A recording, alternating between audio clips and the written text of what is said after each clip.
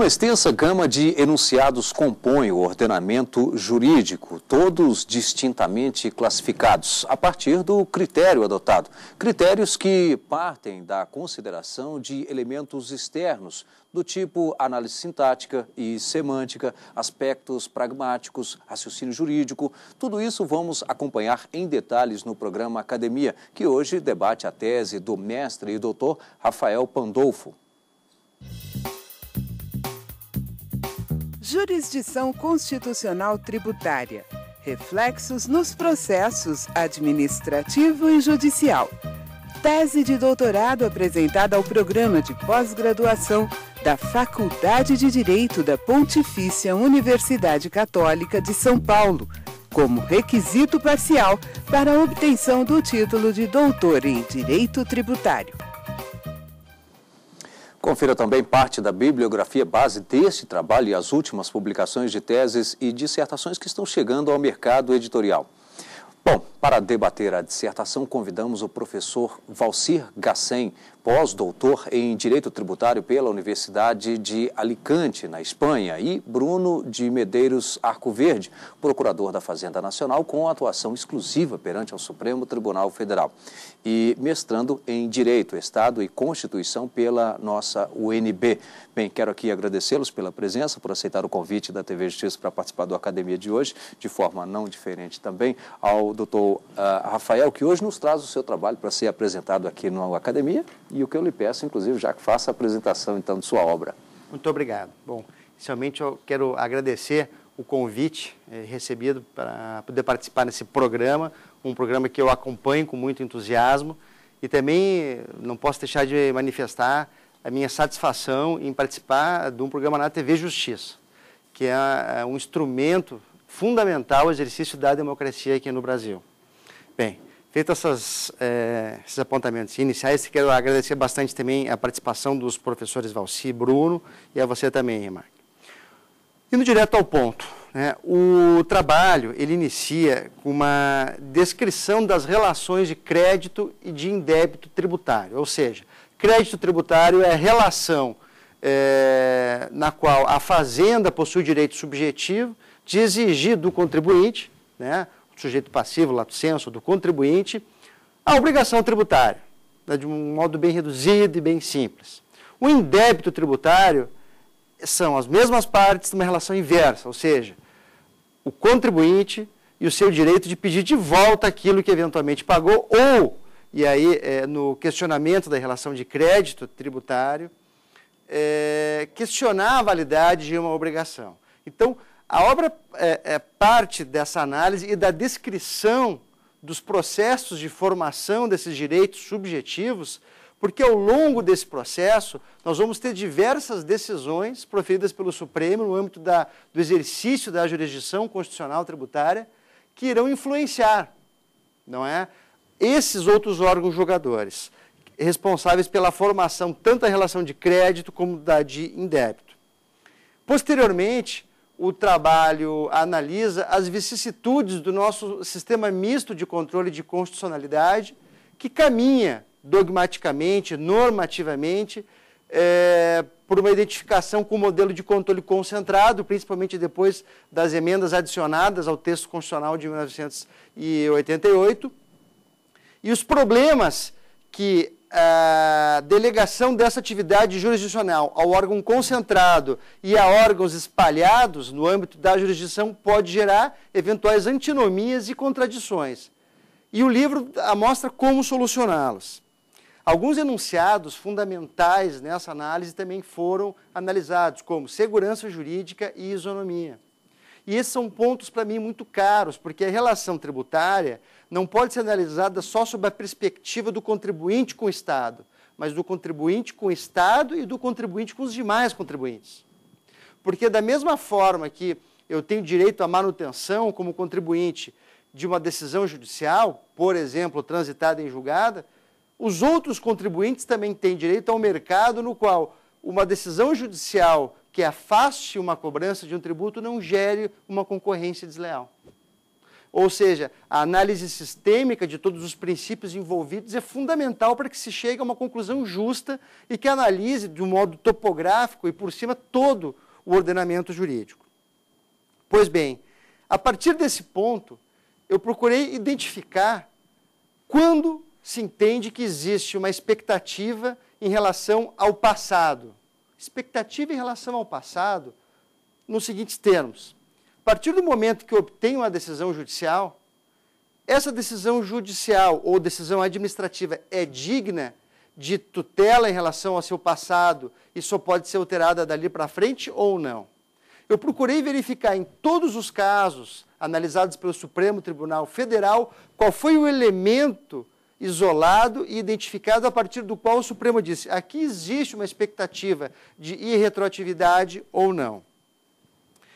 E dentro dessa perspectiva, eu analiso tanto a modulação como a irretroatividade. A modulação, eu até uso a figura retórica do fármaco, na farmácia de Platão. Porque, na realidade, se nós entendermos a inconstitucionalidade como uma doença e a declaração de inconstitucionalidade como a cura ou o remédio, a aplicação desse remédio não pode gerar efeitos piores do que a própria doença. E esses efeitos são é, é, reduzidos através da aplicação da modulação. Então, a modulação é um instrumento doutrinário, é, jurisprudencial e também normativo presente no nosso texto constitucional que faz com que a cura, que é o reconhecimento do Supremo da inconstitucionalidade, não cause efeitos piores do que a invalidade de uma norma perante o texto constitucional. E a partir desse ponto também eu, eu separo e procuro esclarecer que a modulação é um instrumento constitucional que se espraia por todo o ordenamento jurídico e deve respeitar as particularidades de cada subsistema. Ou seja, o subsistema tributário possui garantias próprias e já é irretroativo. Razão pela qual a modulação nesse sistema tem pouca influência. E, e nós temos que identificar quando um direito, a inalterabilidade do, do passado vai decorrer de uma modulação, ou quando esse direito, a inalterabilidade do passado, decorre do princípio da irretroatividade. Em que termos? E aí também, sendo procurando assim, ser um modo bem sintetizado, porque eu sei que há uma série, um número grande de informações que se passa. A irretroatividade, então, ou vamos chamar de efeitos ex nunc, lato sensu, enquanto gênero, ela decorre de efeitos modulatórios e daí retroatividade prevista no ordenamento tributário, não só na Constituição, como no artigo 146 e no 156 do CTN, dentre outros dispositivos. A própria Lei 9784, no âmbito federal, também é muito clara ao prever a irretroatividade eh, a partir da adoção de critérios jurídicos novos é, para o passado pela administração, ela veda isso. Pois bem, a irretroatividade só se aplica no âmbito de inalterabilidade do passado de uma decisão judicial para as partes que integraram a relação processual. Essas partes, ela tem o que se chama de boa-fé objetiva.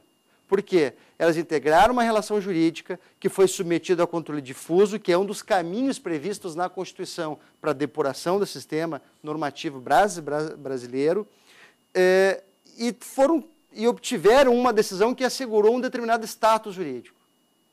Essa decisão confere a essas pessoas, respeitados o tempo previsto no ordenamento jurídico, a coisa julgada, né, o caráter de inalterabilidade desse passado. Isso é muito importante. Por outro lado, nós temos outras pessoas que não ajuizaram a ação, mas que seguem através da TV Justiça, analisando os julgamentos do Supremo Tribunal Federal. E verificam que o Supremo, numa determinada matéria, por exemplo, numa ação direta de inconstitucionalidade, proferiu um entendimento. Esse entendimento é digno de confiança de terceiros que não foram parte, até porque a, a, a, o controle concentrado de constitucionalidade, ele, ele, é, é, nele não existe discussão de nenhum direito subjetivo. Mas essas pessoas que observam um órgão intérprete da Constituição e que diz a vontade da Constituição, adotar uma determinada definição essa definição confere a essas pessoas que não possuem processo segurança e no que diz respeito à inalterabilidade do passado, eu entendo que sim. Mas a partir do momento em que essa decisão transita em julgado. Portanto, nós temos dois sistemas. Um sistema que trabalha com a boa-fé objetiva, que decorre de uma decisão individual obtida no exercício do controle difuso, e um outro sistema que eu chamo de confiança, que é ah, o direito juridicamente tutelado pelo ordenamento de inalterabilidade ou de expectativa de que as decisões proferidas pelo Supremo Tribunal Federal sejam depositárias de confiança, né, por terceiros que observaram esse posicionamento e que, a partir desse momento, enxergam a Constituição a partir das lentes utilizadas e a partir do alcance semântico conferido pelo enunciado prescritivo pelo Supremo Tribunal Federal. A partir desse ponto, né, é, e analisando esses dois cam caminhos, é, é, é, esse é um dos tantos pontos que o livro aborda, eu procurei identificar é, em todos os órgãos produtores de decisão, na relação do contribuinte com o Estado, tanto a relação de crédito como a relação de débito, a influência dessas decisões. Por exemplo, uma cautelar numa ação declaratória de constitucionalidade concedida. Quais são os reflexos dela sobre uma decisão de uma DRJ ou do CARF, órgão do qual eu tenho muito orgulho de fazer parte como conselheiro, né? Uma decisão de mérito numa ação direta de inconstitucionalidade gera quais reflexos? Tanto no órgão ju judicial, um juiz que vai julgar uma execução e é, se vê diante de uma liminar concedida numa ação declaratória de constitucionalidade. O que, ele faz nesse contexto? São situações que eu chamo que são colhidas do laboratório da vida. Porque minha atividade acadêmica, ela é permeada da prática jurídica. Né? Eu atuo tanto no CARF como consultor, é, resolvendo situações concretas que são apresentadas. E acho que o direito tem que ser um instrumento para superar esses problemas né, e apresentar uma resposta coerente com uma lógica que se atribui ao ordenamento jurídico. Então, numa, numa breve síntese, eu é, diria que é, o, o, o trabalho ele mapeia todas o, olha, todo o processo produtivo da relação de crédito e da de débito tri, tri, tributário, destacando as decisões que são proferidas ao longo desses processos e demonstrando como elas são afetadas a partir de uma decisão tomada pelo Supremo, tanto no controle concentrado como no controle difuso. Uma breve síntese seria isso. Bem, eu agradeço ao Dr. Rafael Pandolfo. Nós daqui um pouquinho vamos entrar já na fase de debates. Por hora, vamos conferir parte da bibliografia base utilizada neste trabalho. Justiça Constitucional. O contencioso constitucional português entre o modelo misto e a tentação do sistema de reenvio, de Carlos Blanco de Moraes, Coimbra, editora. Manual de Direito Constitucional. Inconstitucionalidade e Garantia da Constituição, de Jorge Miranda, editora Coimbra. Eficácia das sentenças na jurisdição constitucional, de Teori Albino Zavascki, editora Revista dos Tribunais. Vamos agora a um pequeno intervalo. Até já.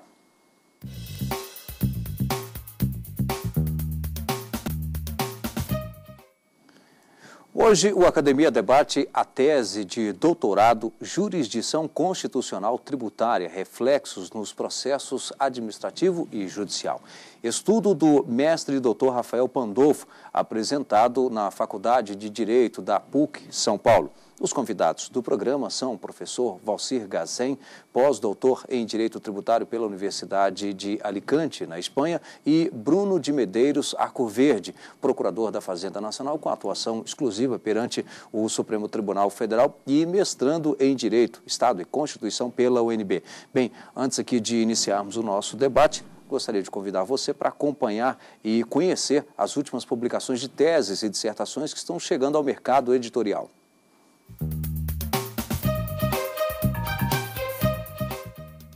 O conceito jurídico de direito sustentável no Brasil, Dissertação de mestrado de Marcos Ângelo Grimoni, Juruá Editora. Neoconstitucionalismo e súmulas vinculantes. Dissertação de mestrado de Tiago Baldani Gomes de Filippo, Editora SAF. Os povos indígenas brasileiros e a transição paradigmática. Dissertação de mestrado de Márcia Cristina Vilas Boas. Editora Núria Fabres. Bom, e além dessas indicações que você acabou de ter aí, nós temos aqui também Rafael Pandolfo, Jurisdição Constitucional Tributária, Reflexos nos Processos Administrativo e Judicial, que é justamente uh, tema da tese uh, do doutor Rodolfo, que aqui chega nesse formato livro, ou seja, sua tese em livro também. Está no mercado? Está no mercado. É, essa, na, na realidade, o livro ele procurou fazer uma ampliação em relação ao tema da tese. A tese, geralmente, uma tese acadêmica, tem um corte epistemológico muito preciso, tem uma linguagem também é, dirigida à comunidade científica. O livro ele ganha em horizontalidade, né, mantém a sua verticalidade no que diz respeito ao, ao conteúdo e também ele é muito esquemático. Então ele procura realmente ser uma, uma, uma obra é, que forneça conceitos, mas que mais do que isso forneça respostas. Tá, então, mais uma dica para você. Bem, uh, ah, para dar início aqui ao nosso debate, gostaria de convidar o professor Valcir. Gostaria de, primeiramente, dizer da minha satisfação de participar nesse debate uh, agradecer ao RIMAC pelo convite. Uh, e a satisfação se dá por vários motivos. Um deles é pela qualidade do trabalho feito pelo Rafael, onde, mesmo que ele tenha explicado que ele fez uma opção epistemológica do trabalho publicado em relação à tese de doutorado, ele não se furtou de abordar as questões mais centrais ou mais fundamentais em termos filosóficos ou em termos de filosofia da linguagem, o que é muito importante para a gente discutir jurisdição constitucional. Eu gostaria de formular uma pergunta, uh, principalmente a primeira parte do seu trabalho, no que tange a linguagem jurídica, ou a filosofia da linguagem, ou a semiótica. Se a gente fala que jurisdição constitucional é a postura interpretativa do poder judiciário, uh, aonde fica a questão da segurança jurídica nós que operamos com o direito, sabendo que a linguagem da lei, ou a linguagem posta na Constituição Federal, ela é altamente plurívoca.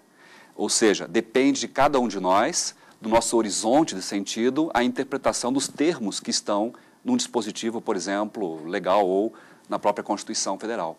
Como fica a segurança jurídica como um princípio balizador das nossas relações jurídicas, com essa possibilidade uh, plurívoca de interpretação da legislação constitucional. E fazendo referência ao autor, né, uh, Herbert Hart, naquele livro dele, O Conceito de Direito, onde ele fala que o direito tem uma linguagem, uh, uma textura aberta da linguagem jurídica. Então, nesse sentido, Rafael, eu gostaria de escutá-lo acerca de como fica esse, a, a, sua obra na parte dos esquemas, que é, é excelente em termos didáticos, de, diante da possibilidade interpretativa que tem o Poder Judiciário di, diante da plurivocidade linguística? Bom, eu agradeço muito os comentários do professor Val, Valcir. Confesso que antes é, do programa nós tivemos um fantástico debate já, é, muito rico, e eu tenho uma satisfação muito grande em ter tanto o professor Valcir como o professor Bruno é, nesse programa, que fizeram uma análise muito qualificada da, da minha obra. Esse ponto é um ponto fundamental para o direito e para a sociedade. Por quê? Quando se tem questões complexas, se deve voltar para premissas básicas. Eu tenho esse, sempre faço esse percurso. Né? Aliás, eu costumo dizer que nomes complexos escondem ideias simples, nomes simples escondem ideias complexas. Functor deôntico se tem como uma expressão muito complexa, mas tem um significado simples. Já o amor é uma palavra simples cujo significado até hoje não se sabe bem ao certo qual é. é falando sobre a linguagem, então, voltando a uma ideia simples. Para que, que existe o direito? Para um convívio em sociedade a partir de comandos que possam ser identificados e conduzam os indivíduos a um determinado esquema de condutas que se entende como aquele que leva ao bem comum, ao que se denomina bem comum. Ok? A partir desse ponto, eu tenho esse ordenamento, aliás, esse esquema, ele é dado a partir de enunciados, fórmulas. Se, se você fizer isso, se você oferir renda, tem que pagar imposto de renda, porque é um elemento indispensável para a realização da justiça e distribuição dos bens dentro da sociedade. Diríamos um mal necessário. Um mal necessário, é. é bem, é, dentro dessa perspectiva, nós temos órgãos que analisam não é? Essa linguagem prescritiva que impõe comandos para todos nós, desde o limite de velocidade até a alíquota do imposto de renda, e temos que interpretá-la, né? Eu costumo dar como exemplo, e nós chegamos a situações realmente complexas. Por exemplo, uma lei sanitária que diz que é impossível você entrar com animais dentro de uma confeitaria. Essa lei se aplica a um cego com cão-guia? Então, nós verificamos que a análise sintática e linguística pura e simples, uma interpretação literal, é insuficiente para se chegar a uma resposta que a gente atribua como uma resposta desejada pelo ordenamento jurídico. A partir desse elemento nascem as interpretações. E as interpretações constroem o sentido dessa norma.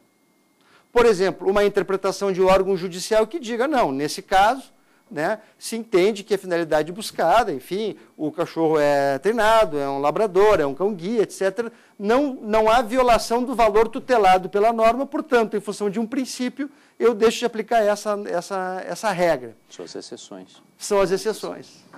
Aliás, o Genaro Carrió, o jurista argentino, ele tem uma expressão muito feliz. Como todo argentino que entende sobre futebol, né, ele diz, um, um jogador avança em direção ao gol e sofre uma falta. O juiz não marca a falta e ele faz o gol. O que, que nós temos nesse quadro? Uma regra. Dado que eu sofro a falta, tem que ser marcada a falta. E um princípio. Dado que a marcação da falta beneficiaria o infrator, eu não marco a falta. Então, um princípio no futebol excepciona a regra.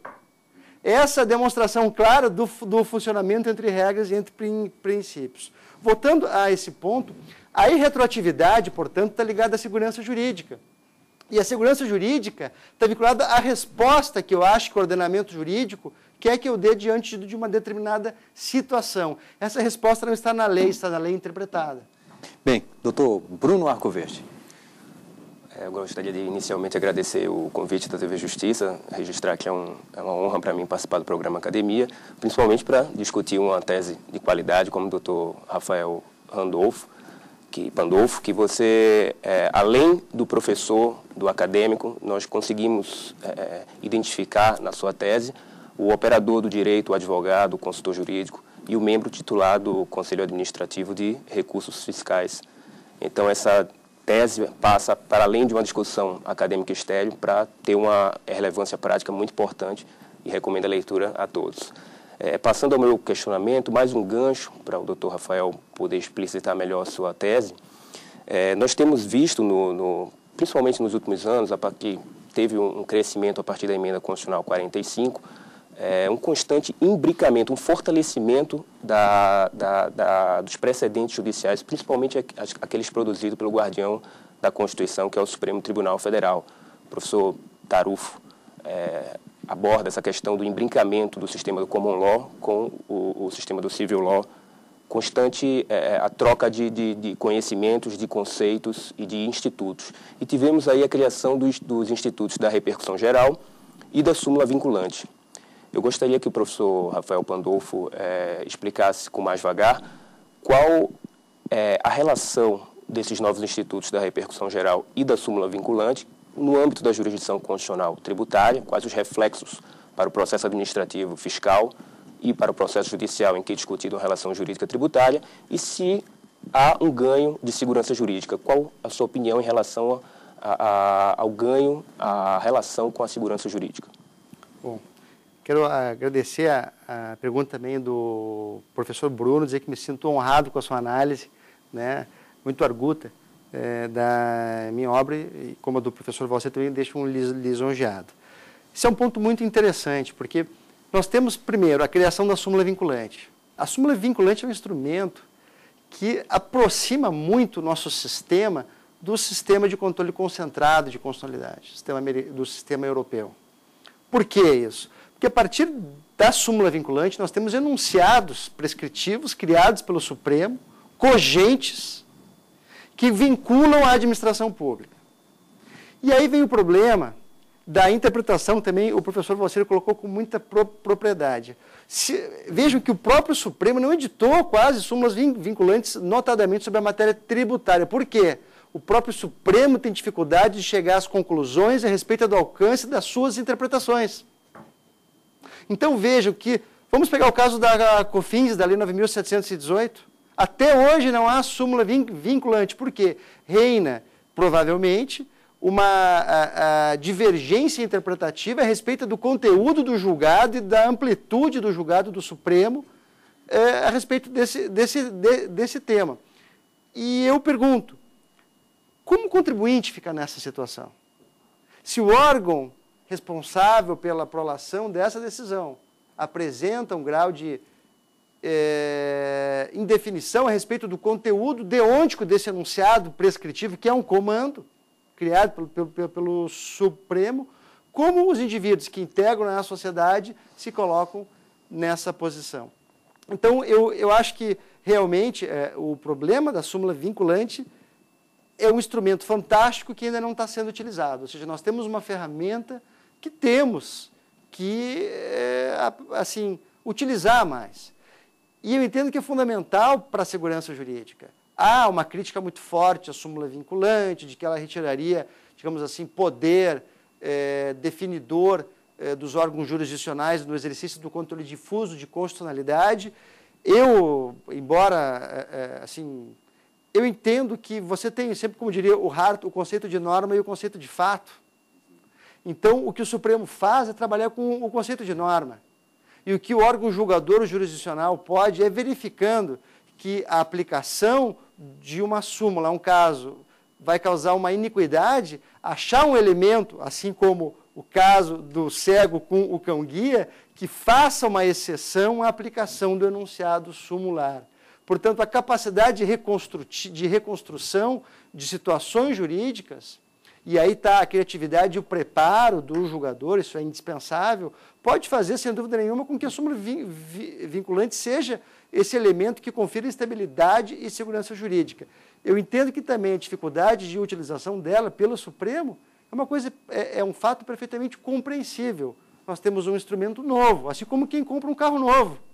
Demora muito tempo até entender todos os seus, os seus me mecanismos, né? ainda mais os carros hoje em dia são cada vez mais tecnológicos. O Supremo hoje, ele, nós temos um país com uma tradição de controle difuso, que caminhou para o controle concentrado e temos uma ferramenta agora que é a aproximação máxima que se chega entre esses dois modelos. Então, é de se esperar realmente, e acho também que a ausência de novas súmulas decorre da cautela que o Supremo tem e da consciência que ele tem da importância que esses enunciados terão condicionando a vida e a atividade de toda a sociedade.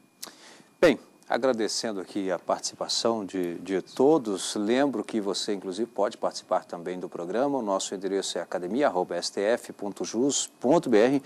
Envie para a gente o título, o currículo uh, de seu trabalho, para que você também possa participar aqui do Academia. Obrigado e até o próximo programa.